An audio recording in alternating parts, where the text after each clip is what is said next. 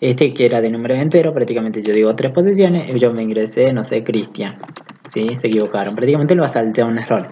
Prácticamente ustedes no pueden cargar en una variable que sea tipo numérica un string. Por eso le hice acá un error, digamos. Prácticamente está en la línea 16. ¿Vieron? Prácticamente porque no hay coincidencia con el tipo de datos. Ustedes están ingresando una cadena de caracteres, pero la variable donde quieren guardar es de tipo entero. Bien, en string prácticamente no habría problema. Y aquí en este string, ¿qué podremos hacer? Eh, no sé, a ver, vamos a ver, qué, vamos a hacer un ejemplo. A ver, eso depende ya del enunciado, digamos. Eh, bueno, vamos a mostrar asterisco, asterisco. Aquí vamos a querer, no sé, mostrar la cantidad de nombres iguales iguales a 1 ingresado. ¿Sí? Eso es lo que quiero. Que me muestren prácticamente la cantidad, cuántos nombres son igual a un valor que yo ingreso. ¿Sí? Entonces ahí podemos mostrar nuestro mensaje. Vamos a hacer un for porque necesito recorrer. Bien, antes necesitan la cantidad, entonces necesito contar. Entonces me creo un contador de contador de iguales, nombres iguales. Vale, prácticamente le asigno 0 y aquí vamos ir contando. Prácticamente yo primero antes de contar, yo contaría, preguntaría, che, ese elemento de mi vector en esa posición, punto, para comparar cadenas eh, o string en este caso usamos el equals. ¿Igual a qué?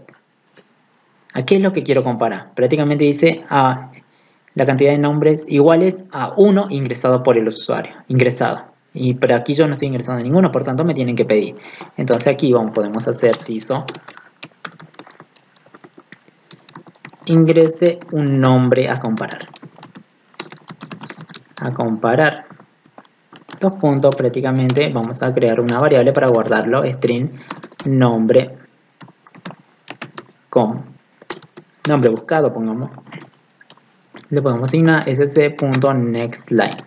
Si es nextLine, fíjense que no haya una lectura antes de un número. Si no hay ninguna lectura de un número, y por tanto no, no hay problema. Si no, tendríamos que agregar sc.nextLine después del número que se ha pedido anteriormente. Bien, el nombre buscado. Entonces aquí voy a comparar el elemento, si es igual prácticamente al nombre buscado. Nombre buscado, aquí está con el equals. Equal es cual me devuelve un valor prácticamente booleano. Si es verdadero, si son iguales, falso si no lo son. Entonces aquí recién contaría. Contador de nombres se incrementa en un valor de 1. Al final prácticamente podríamos mostrar si hizo, no sé, eh, la cantidad de nombres iguales es al ingresado sado e dos puntos y mostramos la variable contador de números iguales. Bien. Ahí lo ven. Si control S si este pequeño ejemplo vamos a hacer con eh, stream me pide ingrese una eh, una cantidad. Eh, yo digo 3 bien ingreso un nombre Chris Chris José. Listo. Le muestra el elemento y aquí están. Le muestra la cantidad de números iguales. Es prácticamente cuánto es la cantidad. A uno ingresado. Bien, primero dice ingresa un nombre a comparar porque vos necesitas un valor a comparar. Yo digo, bueno, búscame a Chris. ¿Cuántas veces se repite Chris? ¿Cuántos elementos Chris hay? O sea, ¿cuántas veces se repitió el nombre? Dos veces sería, ¿no? Chris. Chris se ingresa ¿dónde? En nombre buscado. Y entonces aquí va recorriendo. Cada elemento es igual a Chris. Si es igual, lo cuenta. Si no, sigue su ejecución. Bien, prueba el otro elemento y lo compara con Chris. Y así. Fíjense, la cantidad de elementos iguales son dos. ¿Por qué? Porque hay dos veces Chris que no. Si hubieran puesto José, va a, va a contar uno. Si, no si ingresan, por ejemplo, María, y aquí no está María, el contador siempre vale cero, porque no hay ninguna coincidencia. Bien, hasta ahí tenemos en este caso un vector de string. Ahora, ¿cómo sería prácticamente para eh, que hagamos un vector, no sé, de... Eh, vamos a crear otro de caracteres, ¿sí? main char, vamos a poner.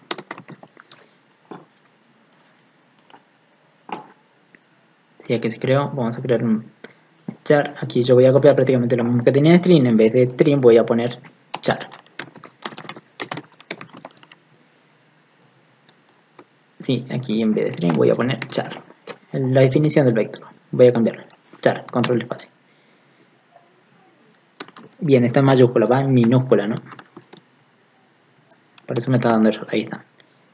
Ya. Bien, aquí cargamos. Fíjense que la variable donde voy a tener que cargar ya va a ser ahora de tipo char. Y acá vamos a poner letra, le vamos a poner la variable letra sc y aquí van a usar nextLine.char add y el índice prácticamente cero, o sea, leeme el primer carácter que se ingresa. Letra. Aquí también necesitamos, porque es una next line, por tanto antes necesitamos la lectura anterior para limpiar el valor numérico. Si el fin de línea del valor numérico leído anteriormente. Charar me permite leer a mí el primer carácter. Si yo hasta aquí leo una cadena, un string, aquí charar, ¿qué me trae? Si yo le pongo una posición, me trae solamente ese carácter en esa posición. Por tanto, va a leer el primer carácter que se ingresa. Y lo guardo en la variable letra, que es de mismo tipo.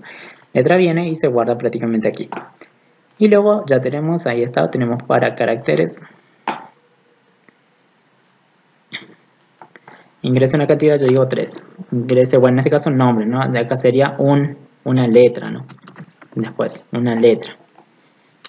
O un símbolo, acuérdense que un carácter puede ser una letra, un símbolo o un número también, si está entre comillas simple, R y el I. Fíjense que se carga en cada una, C, R, I.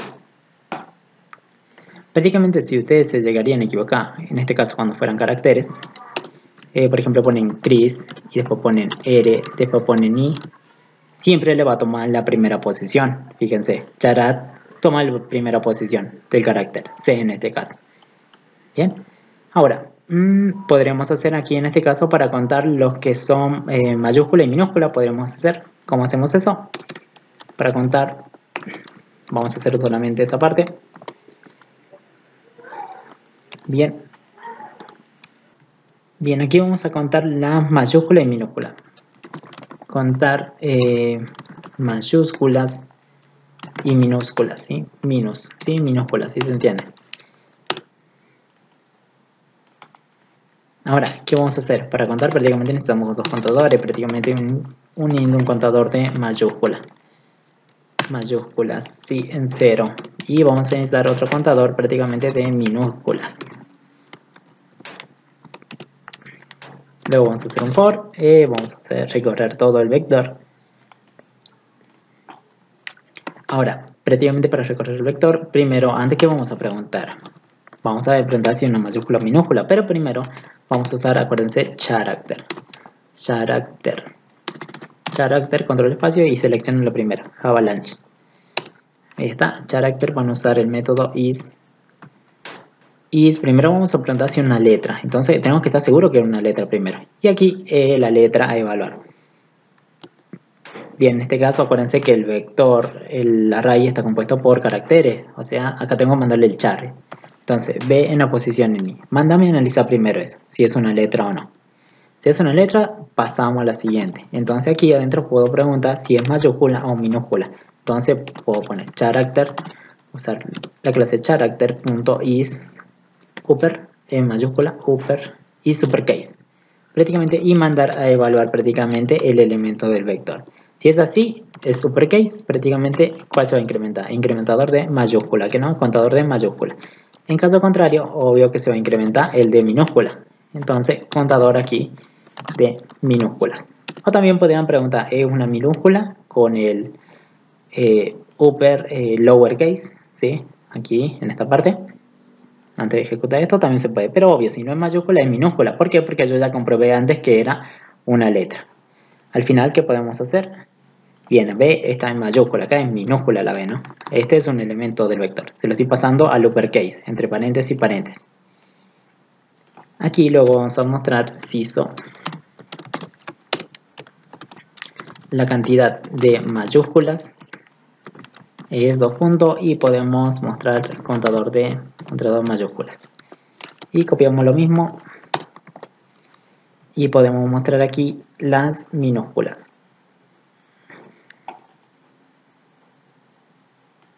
Aquí. Contador de minúsculas. Minúsculas. Bien vamos a probar esto si funciona. Eh, ingrese la cantidad a ver. Ingrese la cantidad de elementos dice que son 3 yo voy a ingresar no sé una arroba. Una arroba no es una letra, por tanto no la tendría que contar. R y luego voy a ingresar una B mayúscula. Ahí está. Estos son los elementos que se ingresaron. ¿Son caracteres? Sí son. Sí, porque un carácter puede ser un símbolo, puede ser una letra o un número. En este, en este caso tenemos dos letras y tenemos eh, también un símbolo. Mayúscula y minúscula, ¿quiénes son? Uno y uno dice. ¿Por qué? Porque el símbolo, primero pregunto, che, ¿el símbolo es una, es una letra? No, por tanto no lo contó. Siguiente, la C. ¿La C es una letra? Sí. Siguiente paso, pasa al siguiente if. ¿Y supercase? ¿Esa C es uppercase? O ¿está mayúscula? No. Por tanto, viene incrementa el contador minúscula. Siguiente, el siguiente elemento, P mayúscula. ¿Es una letra? Sí. ¿Uppercase? Eh, sí. Entonces entra aquí a contar la mayúscula. Al final se muestran los contadores de cada uno. Bien, prácticamente con esto ya terminamos. Aquí en el método main, fíjense, por cada elemento que ustedes